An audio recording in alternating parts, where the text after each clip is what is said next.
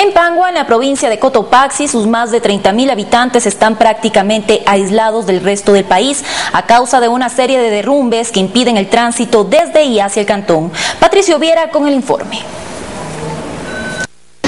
Los permanentes deslaves mantienen aislados a los cerca de 30.000 habitantes que residen en el cantón Pangua en Cotopaxi. Las constantes lluvias hacen que la tierra ceda, provocando grandes deslizamientos.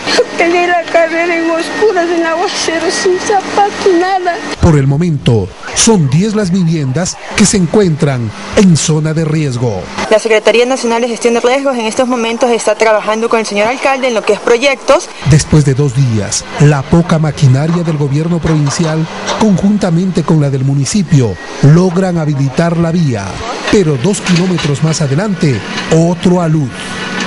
Los vehículos que intentan pasar quedan atrapados entre lodazal, por lo que empieza el transbordo, mientras los vehículos aguardan que se habilite por lo menos un carril para poder cruzar. Este furgón es el primero que intenta pasar.